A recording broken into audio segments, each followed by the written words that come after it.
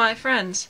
I may look different and scary, but I assure you I am the same Missy Fazbear here.